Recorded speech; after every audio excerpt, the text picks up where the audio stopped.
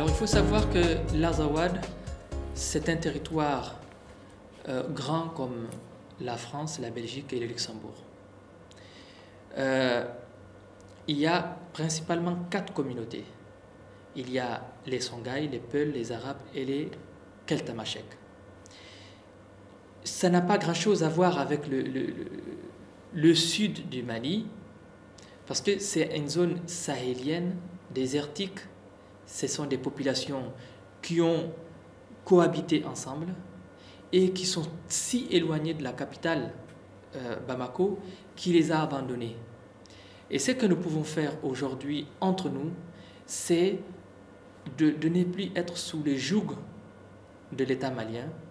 Nous sommes différents de, du reste du Mali, de, l'autre partie qui a annexé notre, notre État, l'État de l'Azawad.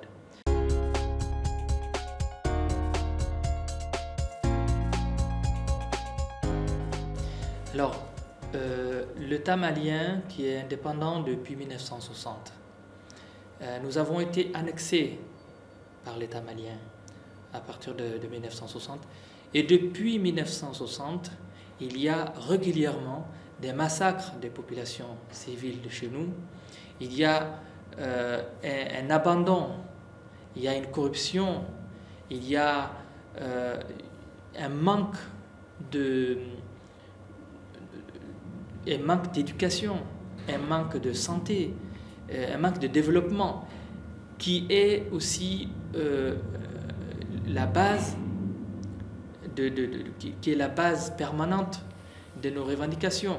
Mais aujourd'hui, il faut savoir que l'État malien, qui n'a pas pu régler ces problèmes, qui n'a pas pu protéger la population, qu'il a laissé aussi entre les mains des terroristes d'Al-Qaïda et de ses alliés, ne peut plus, ne, ne pourra plus encore euh, compter sur sa propre armée qui, qui, n'existe quasiment que de nom, qui n'a pas pu sécuriser notre territoire.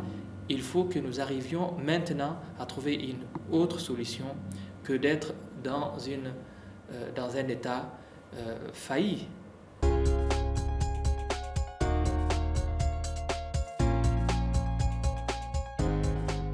sommes en belligérance avec Bamako et nous sommes en train de négocier pour obtenir un statut juridique et politique pour l'Azawad.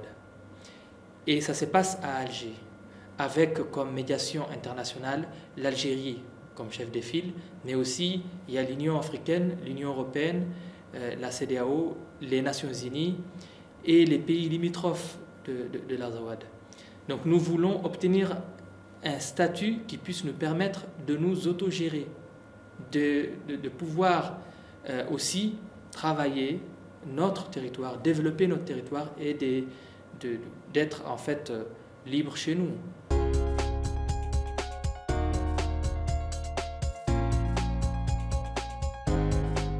Alors, une fois que nous aurons le statut juridique et politique de la Zawad, nous comptons mettre un système des gestions démocratiques qui permettent à chacun de pouvoir euh, trouver sa place et de faire tout pour qu'il n'y ait pas, euh, encore une fois comme c'était avec euh, le Mali, le, système de tribalisation, le système de, de conflit entre les, les, les, ethnies, les tribus. On veut permettre à chacun de pouvoir vivre dignement et librement sur son territoire. Et là, c'est la gestion démocratique. C'est la gestion qui permet aussi euh, de pouvoir communiquer avec le reste des mondes, de pouvoir avoir des partenariats avec le reste des mondes, de pouvoir aussi exploiter nos ressources minières, d'exploiter aussi nos euh, ressources de l'énergie renouvelable, de pouvoir aussi mettre en œuvre une politique qui respecte l'environnement.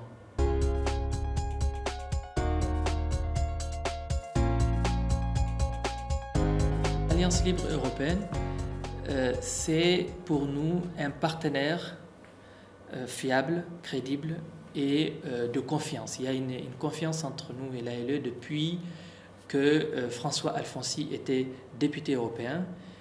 C'est de là que nous avons découvert l'ALE. Parce que François Alfonsi est un est un homme qui a beaucoup aidé à faire connaître notre cause, notre combat. Donc, il est aujourd'hui le président de l'ALE. Donc, naturellement, nous avons une relation avec l'ALE.